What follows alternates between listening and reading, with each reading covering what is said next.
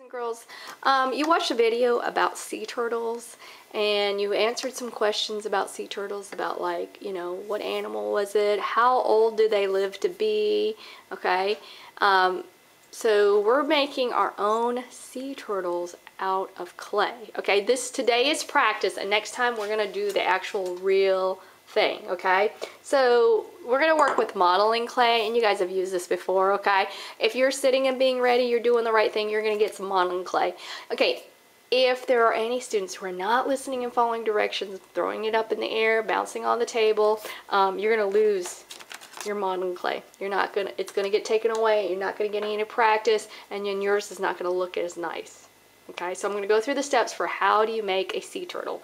First thing, because we're working in with the modeling clay, this is a man-made clay. We're going to squeeze it between our hands. It doesn't take very much because the, the warmth of your hands are going to warm it up and it's going to make it very easy to work with. Okay, it's not going to be so hard. Once you have it warmed up, okay, all right, so what we're to do is you're to roll it on the table like a sphere Okay, and once you're done with that, okay, then we're gonna do some pinching, okay? There's two kinds of pinching, boys and girls. There's one where we can see the top of your knuckles, okay? Bird is asleep.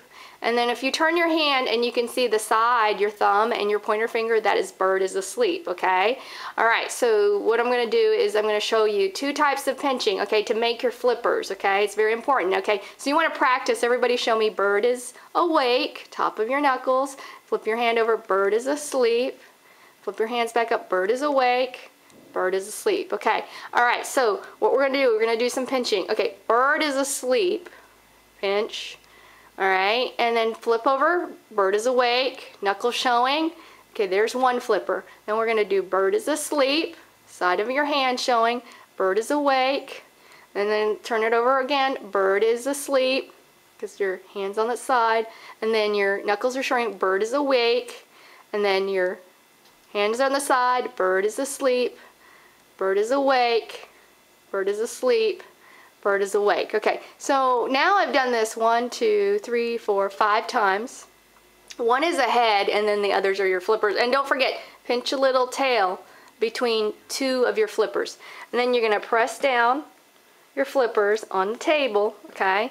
So then you have your actual flippers. Okay, all right, the next thing we're gonna do is we're gonna go ahead and we're gonna press in and make um, one of these your head. And I always make it the opposite one for where your tail is. And I'm gonna press in and I'm gonna make my eyes. All right, and then you can add a little mouth. You can use the side of this paper clip because we said we're using a loop tool. And then you can go ahead and you can actually press in to make a little mouth all right? And you can open it up okay? And then we can make textures in different ways. We can press in with our paper clip going all the way around because their shells have texture.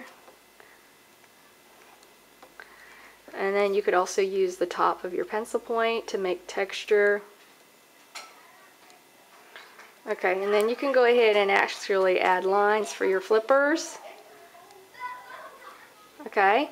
All right, so then I've made my baby sea turtle, and these are about the size of a real baby sea turtle, boys and girls. Okay, and then on bottom, I want you to practice writing your name, and then you guys are my two, second grade for the number two, and then the letter, whatever letter group you are, that's it, okay?